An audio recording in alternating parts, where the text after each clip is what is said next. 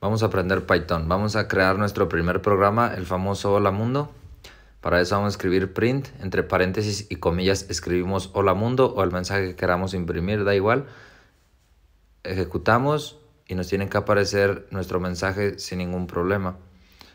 Otra cosa que también podemos hacer es declarar una variable. En este caso vamos a declarar la variable a igual a, entre comillas, y escribimos nuestro mensaje.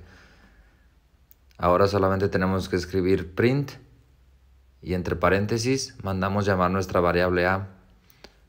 Ahora guardamos, ejecutamos y listo. Nos tiene que aparecer hola mundo sin ningún problema. Así de fácil creamos nuestro primer programa en Python.